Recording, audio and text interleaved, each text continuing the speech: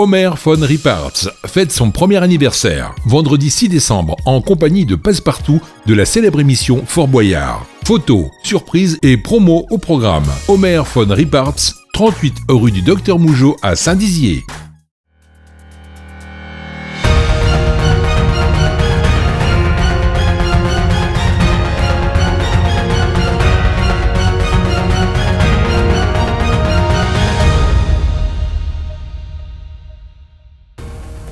Bonsoir à tous, samedi 30 novembre, soyez les bienvenus dans votre journal, voici les titres.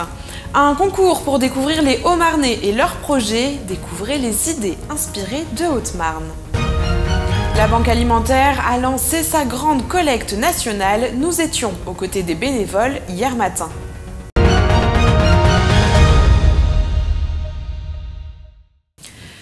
Ce matin, les athlètes bragards ont accepté le rendez-vous de la municipalité pour un petit déjeuner autour du sport, évidemment. Ils étaient tous réunis en mairie pour la présentation des ambassadeurs sportifs de Saint-Dizier.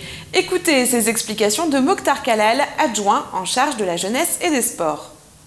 On a souhaité, avec l'équipe municipale, rendre hommage à nos ambassadeurs sportifs de l'année 2019 qui, euh, tous les week-ends, sont présents sur le territoire national ils représentent notre vie avec fierté, avec force. Et on voulait leur rendre hommage parce que c'est beaucoup d'abnégation, beaucoup de travail, beaucoup de sacrifices. C'est souvent des adolescents, c'est l'âge où on voudrait faire plein d'autres choses, mais le travail, chercher la performance, c'est beaucoup d'investissement. Parmi eux, Mourgue, championne de France d'athlétisme du COSD, et Paul Vario, champion de France lui aussi, mais de judo, licencié au judo club de Marnaval. Écoutez leur réaction au micro de Julien Carré sur des images de Nicolas Fontaine. Mon sport c'est le triathlon, donc cela consiste à faire de la natation en lac, du vélo et puis de la course à pied. Les distances, ben, c'est 750 euh, mètres de natation, 20 km à vélo et 5 km à pied, donc ça représente environ un effort euh, d'une heure.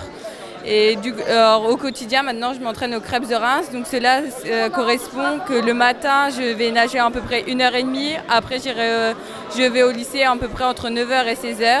Et de 17 à 19h, euh, je m'entraîne euh, en course à pied, euh, en, vélo ou en musculation. Bah, cela représente vraiment un avantage pour ma pratique sportive au quotidien parce que cela permet de m'aider, bah, par exemple, dans des achats, dans des horaires d'entraînement par la ville. Donc, je les remercie beaucoup. Pour moi, je trouve que c'est cool. Genre, ça, fait, ça donne un dynamisme au sport, ça donne un peu des enjeux comme ça.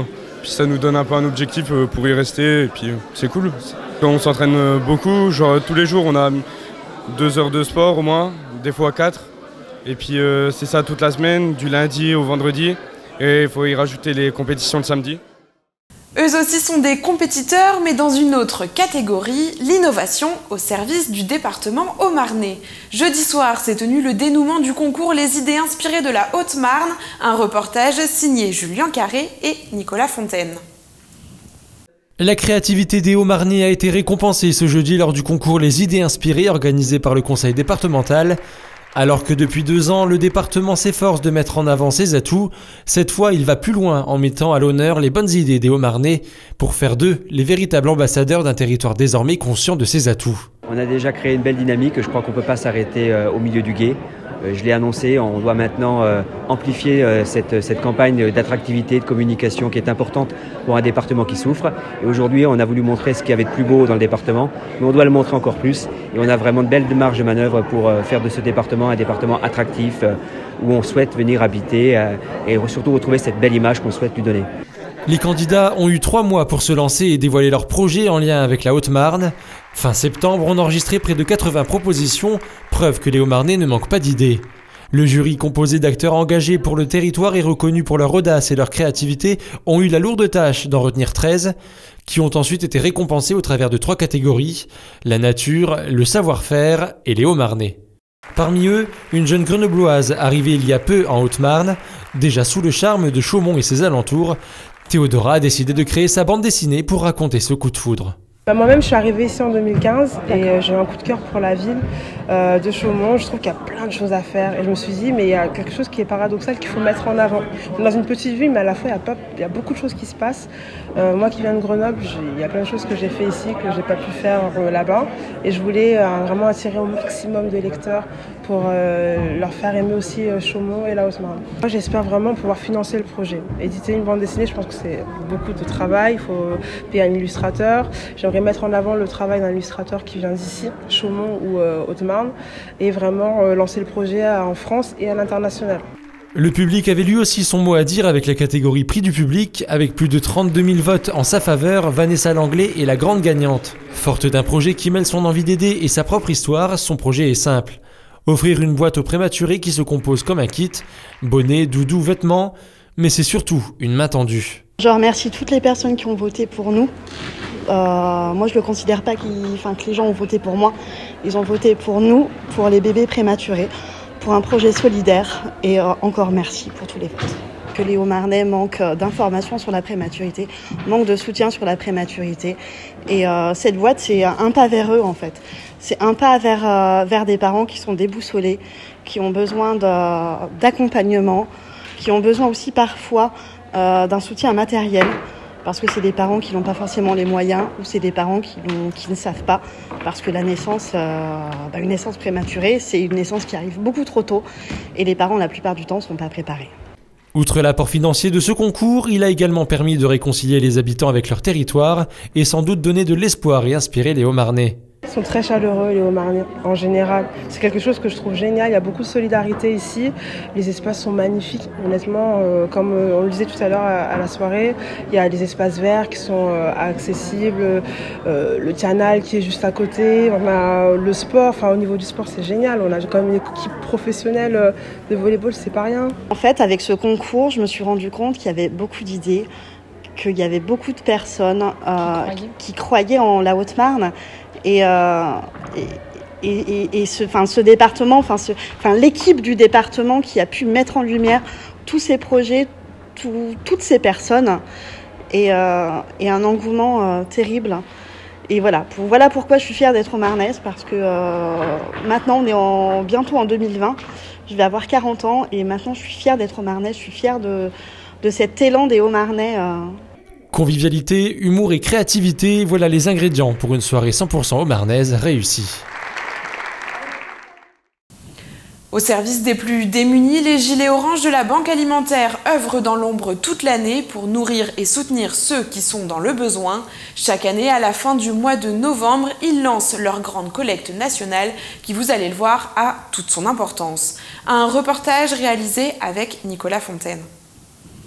En 2018, la Banque alimentaire Champagne Sud et Meuse a distribué près d'un million 680 000 repas sur le territoire, englobant la Meuse, la Haute-Marne et les alentours de Vitry-le-François.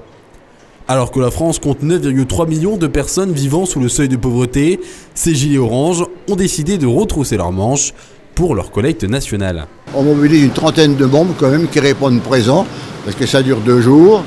Et comment il y a des vacations de deux heures à peu près sur les deux jours. Alors il faut du monde. Donc j'ai mobilisé cette année une trentaine de personnes, membres du Lyons, donc qui ont bien voulu répondre présent à la, à la collecte. De nombreux bénévoles issus des associations et des écoles voisines ont répondu présent pour distribuer des flyers, informer les clients, mais aussi ranger et trier les denrées pour qu'elles soient rapidement acheminées au dépôt de la banque alimentaire, rue Alfred de Musset. Ça fait déjà de nombreuses années, voire plus de 20 ans, que je participe à la collecte pour la banque alimentaire. Moi déjà, ça fait déjà trois ans que je le fais. Et euh, je trouve que c'est une initiative, euh, enfin une bonne initiative. Cette collecte est un don indispensable pour l'association. Elle représente en effet 11% des denrées qui sont distribuées chaque année. Bah, le plus utile, c'est surtout euh, l'alimentaire, parce que les gens ont plus besoin de manger. Il y a aussi, il y a aussi les produits d'hygiène, c'est aussi important, mais l'alimentation avant. La banque alimentaire fait appel à la générosité de tous, une boîte de conserve, un paquet de riz ou encore un flacon de gel douche, chaque don a son importance. Aider les gens en difficulté parce qu'on sait que c'est pas facile. Et puis là surtout on est euh, proche des périodes de Noël. Donc euh, on sait que pour les gens c'est pas facile tous les jours. Cette première journée a bien commencé et tous espèrent atteindre un bon résultat comme l'année passée, plus de 65 tonnes. Mais ne vendons pas la peau de l'ours avant de l'avoir tué.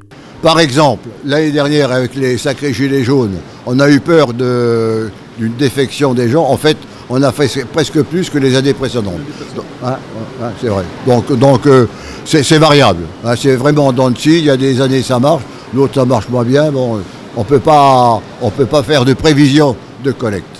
A noter que l'opération est reconduite toute la journée du samedi 30 novembre dans de nombreuses enseignes qui ont accepté d'être partenaires, un geste qui pourrait aider près de 7500 bénéficiaires du territoire à ne pas passer l'hiver le ventre vide. Et c'est la fin de cette édition. Merci à tous pour votre fidélité. Tout de suite, vos prévisions météo de demain. Toute l'actualité qui vous concerne, à voir ou à revoir dès maintenant sur puissance-télévision.fr et sur notre application mobile.